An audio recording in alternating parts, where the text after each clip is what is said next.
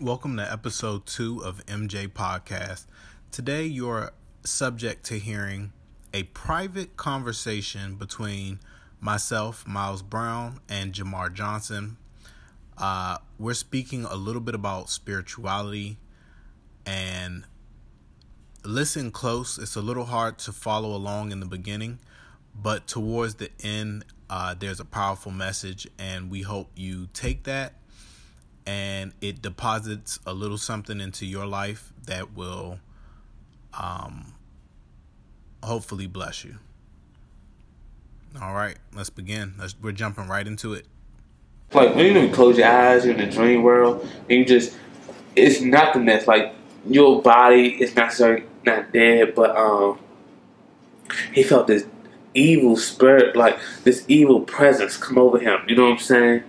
And um, as, as soon as the evil came, you know what I'm saying, he felt like this shine of light, you know what I'm saying, like kind of, I guess, put the light on it, this evil spirit, and the evil spirit that wasn't no positive light, like it just got mm-hmm. away, you know what I'm saying, and it was God, you know what I'm saying, he was telling him like, give up the ghost, like you come on home, you know what I'm saying, and he was like, nah man, I gotta go back, you know what I'm saying, it felt good to the point he just wanted to stay, but he was like, nah, I gotta go back, you know what I'm saying and just that that account always stuck with me. You know what I'm saying? Because he did that like right here in the present world. Like that's how I stopped. He was, was gone. Yeah, he was gone. You know what I'm saying? And you know the naysayers or your self self doubt would say like he just was dreaming. You know what I'm saying? Like he had been so plugged into this. You know what I'm saying? Fictitious world that's gonna come that you start to believe it. You know what I'm saying? And you know, um, what's that show uh, called? Gods. Uh, came Stars. What was that show? Oh yeah, American Gods. American Gods. It was playing on the fact that whatever you believe in, that's the fate that you will um, see. You know what I'm saying? Yeah. If you believe different, then that's what it is. You know what I'm saying? You believe in nothing, then nothing will happen. I think by default, the uh, Egyptian god was going to be Remember, just God was like weighing your soul against the fire. Oh yeah, yeah. But we have believed in so much. So if you unplug, you know what I'm saying? Yeah. Who want that? You know what I'm saying? I definitely believe in Jesus Christ. I definitely believe that He's the Son of God. And sometimes when I get super high, the self doubt come in. Like, is is it I'm just plugged in? You know what I'm saying? Like what if I, my um, mother would never went back to house of prayer? Like I wasn't raised in the church. You know what I'm saying? Like would be dead, but then is uh you got the opportunity. You know what I'm saying? Like it's a blessing that you did. You know what I'm saying? I always looked at it as a blessing growing up, mm-hmm. and only reason do I question certain things. Is it good to question? Should I stop questioning? Um, I think the Bible says to, with all wisdom, gain understanding. So to understand something, if you don't ask a question about something that you don't understand, you can't get true clarity. And I think the closer you look for the truth, the more you'll see God in it because God is truth. You know what I'm saying? So if you're connected to the truth, everything that feels right is going to end up leading you back to, oh, God had his handprint on that. So, at, and it's okay to have your whole mind shattered for it to be brought back again, yeah. and understand that dang, you know, there's really a foundation here because what people forget is that truth is a foundation. So and we've seen the truth and then like I never ever seen words like never seen the righteous forsaken. You exactly. know what I'm saying? Exactly. Like at the end of the day, like when you live in your real world, mm when you see a righteous person, somebody that you know is living by the word of God because their life just yeah. speaks it, yeah. that confirms the Bible. Because it's just like, what could really happen to Sister Summers other than her husband dying or she die that would knock her off track at this point in her life?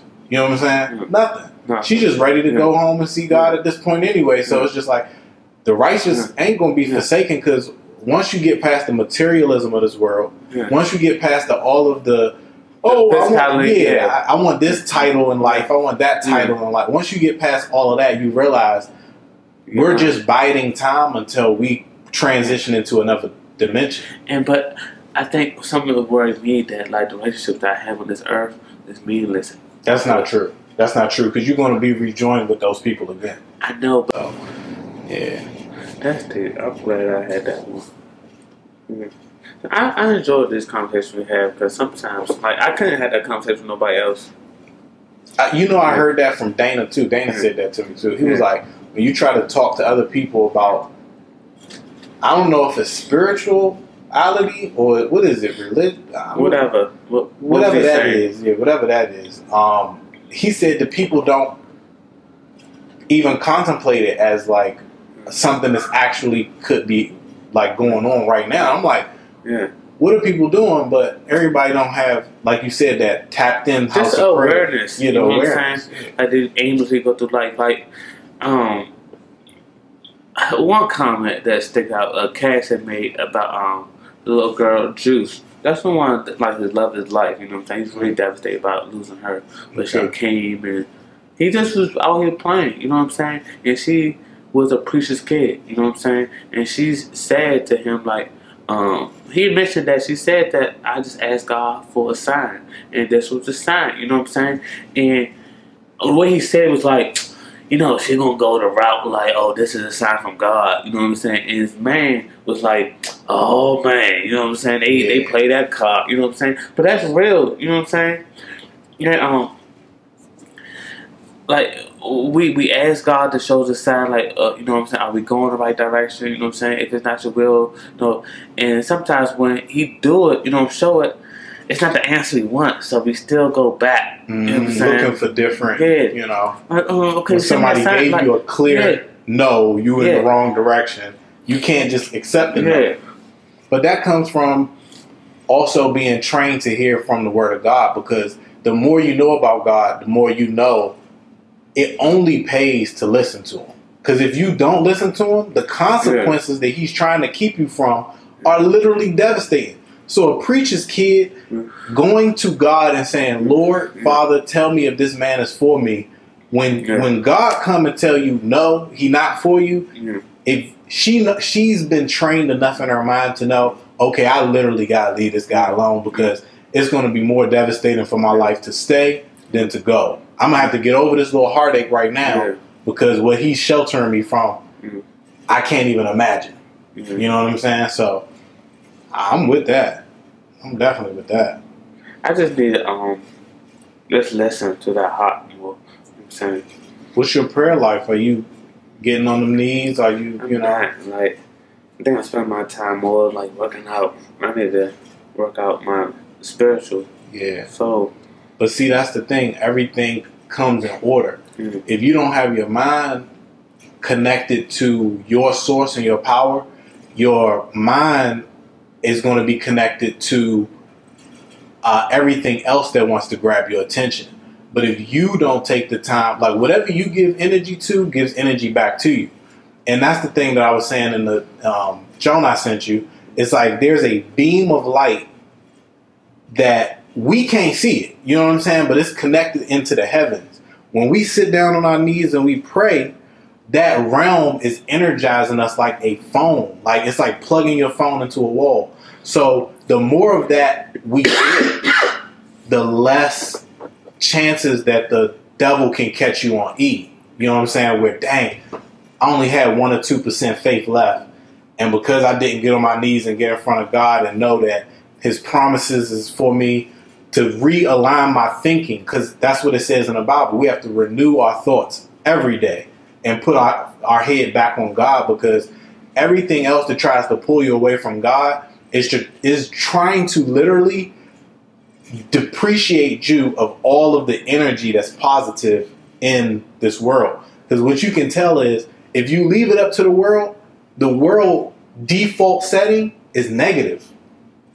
It's negative. It's only godly people and people that have morality that bring some sense of good into humanity. It's humanity itself is inherently You evil. know, mm, that's what society try to tell you that's not true. Like you don't have to have religion to be. And that's a lie. That's a farce.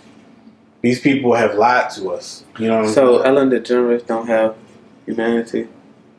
I think she plays humanity Like For the, the, the whole uh, what's name?